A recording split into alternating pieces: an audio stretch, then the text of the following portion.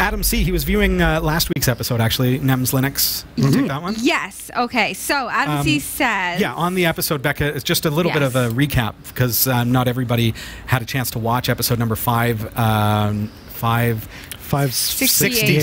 68. 568. I've lost all track of all There's just a few of them. Not everybody's had a chance to watch episode 568 just yet. So, just recapping a little bit, Becca and I got talking about compatibility between Linux, alternative software, and Microsoft Windows, Mm-hmm. particularly LibreOffice as a Microsoft Word and Excel replacement Yes. for Word and Excel, and compatibility between offices where you've got to send it to somebody who is limited to Windows. Right, and this is interesting because this is a question that's been just like burning inside of Mm. me that I've been really wanting to ask. So I'm happy that you covered it. I haven't watched it yet. Mm. Okay, well, you gotta completely, do but I need to It's only because I'm hoping that it. Yeah, it only it only happened a week ago. I'm just I I really have this issue day to day because some of our office Mm. is That's the other thing. I think in terms of Linux versus Windows. Right. right. That's the term I think of, right? Right. Becca's on Linux. Computers that uh, at the school are on Windows, so she's taking college. Right. She's got to send files in Windows doc format. So those are the terms I think of. There are mixed environments where you have all Windows, There's but half of the computers are using LibreOffice because Microsoft Office costs a, couple hundred dollars, a couple hundred dollars per computer. There's only one computer in my whole office that can print the handouts I need, and it's hmm. not my computer. Right, and it's So- running Office, and you're Right. on LibreOffice to Exactly. to, save, to Be- reduce costs. because Yeah. of this exact issue that I'm sure you guys were talking about. Yes. Reading the comments from the Yeah. act. I haven't watched the show, but All right, so what does Adam, Adam. C talk about? I found that Libre and Open Office to be more compatible with Microsoft Office than the iWork suite from Apple. I only encountered a few issues with Word and Excel when the document contained heavy formatting or calculations and macros that are heavily used and easily read by the Microsoft software. As mentioned in the video, I did encounter an issue with fonts and the size of slides when converting and saving something into PowerPoint. Looking forward to a follow up. Very cool. Now, Becca actually had that issue because one of her school presentations was a PowerPoint presentation. Right. She says to me, Can I do this? Mm-hmm. Because she uses LibreOffice. And so I imported it.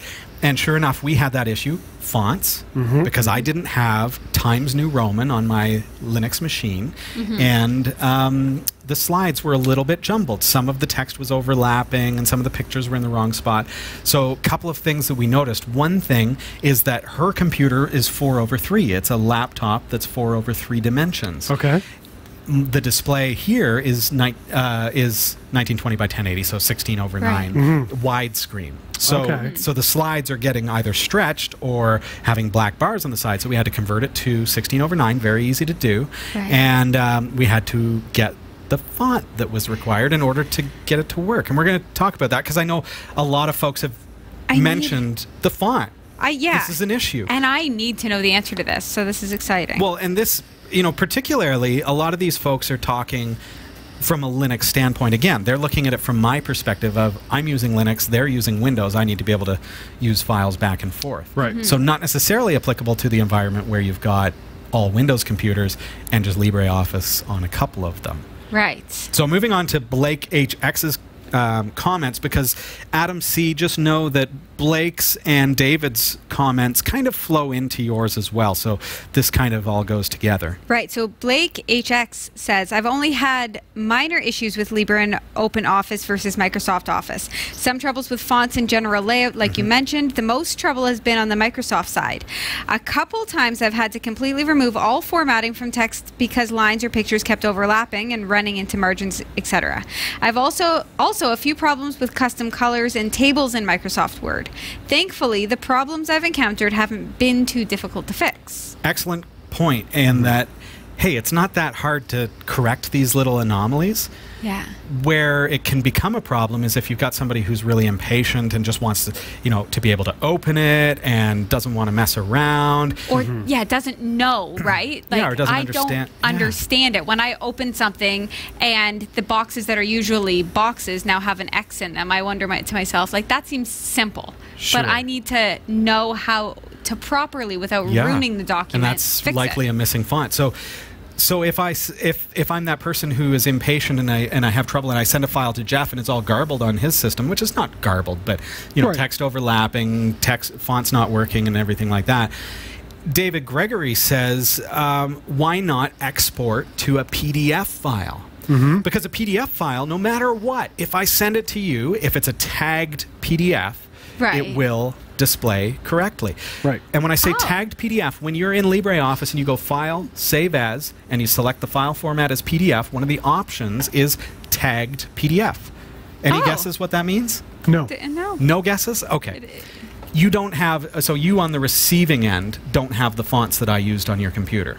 Okay? Right. Maybe you don't have the images on your computer. So if it was a Word doc, it's going to have problems displaying these things. Right. So if you tag the PDF file, it will embed the fonts and it will embed Oh, smart. the the Oh. um, the layout and the images in the f- file. Hmm. So when you send that file now, they don't need those fonts installed. Right. So that's a good solution if it's just to print.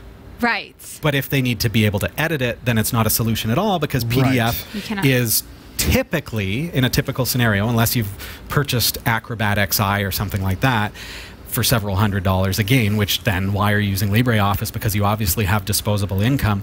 Yeah. Um, it's not a solution for you. So Greg, uh, David Gregory goes on to say, what about installing MS Font Enabler and copy the fonts from Windows 10 and install it into the fonts directory on your Linux machine or Mac, presumably, slash user slash share slash fonts. Now that is an old school way to do it, mm-hmm. and it will work. It would work. Like, Yeah. would it be complicated for me? It's to a do? little complicated and it's a oh. little illegal.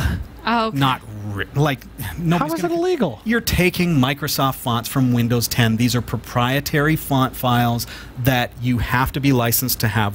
I think to- that's you You can find them all over the Right, internet right, as, right, right, as right. But you font have- files. So, when you install Linux, because Linux is a free operating system and they are all about hey, if you install Linux, you're not breaching any copyrights, everything is free, it's all open source. Right. But by the way, if you know how to do it, you can install some of those non free things like MP3 playback, hmm. like Right. VLC being able to play proprietary formats, or like Microsoft Core TTF fonts. Because Microsoft did, in fact, release web fonts to support like Arial and Times New Roman Yeah. and Comic Sans MS because we all need that. Um, Right. but on your Linux machine, it's important for you to be able to have those Windows fonts so that when someone, when Jeff sends me a Windows created doc file and has used Windows fonts, because maybe you use Verdana on your Windows machine. And so it looks good on your Windows machine, but then when you open it on Linux, on LibreOffice, you say, oh, the font has reverted to some default right. font. And so you blame LibreOffice and say it's not displaying correctly. Well, truth be told, it's that your system doesn't have a font installed that matches Verdana. Hmm. So LibreOffice says, let's try to find something that's similar based on the type of font, be it a Right. sans serif or something like that. But it's really just going to default to whatever you have installed. Correct. So I'm going to simply bring up Putty because I want to show you how easy it is on a Linux machine to install these Microsoft fonts, which this way is it's a non-free fonts file. And when on Linux, it's such a funny thing, right? Because I have to say non-free and I have to do air quotes for those of you who are listening to the podcast. Air quotes. Non-free means it's not open source. It's not it's Right. not free as in you're free to do everything with it and distribute it and sell it. Right. Th- Linux is free in all essences. Um, with Microsoft stuff, it's free as in you can have it, it's yours, you can use it, Yeah. but it's not free as in freedom. Um, but you can you can install it and you can use it for free without having to pay cash. So two Right. different. The English language maybe needs a new word for libre. let's let's use that. Okay. Right. Uh, for free, there needs to be two words for free. I'm going to jump onto my server here. Hi, chat room. Nice to see you. I'm going to just jump over to my computer here and hop onto my server, which I think is. Let's try five. Wouldn't it help if I knew the IP address of my server? Let's ping it. That would help. I've named my server. You ready for mm-hmm. this? Worf. Worf. That's awesome. Lieutenant Worf is 10.0.0.10. There we go. Okay, putty. 10.0.0.10. And we'll accept the certificate. Yes. Where's my mouse? Come on. All right. Okay, I'm on Worf. I need to become super user. On Debian, it's SU. On Linux, it's on uh, on Linux. On Ubuntu, it's going to be sudo su su. Okay, so I'm going to go su on Debian, which is what I'm on. Enter my root password. Okay, now apt update. This is going to download all of the current packages from the repositories of Debian. Okay, same commands on Ubuntu. A little different if you're on like OpenSUSE or uh, Red Hat or CentOS or whatever. But if you're on a Debian derivative, this is how you do it.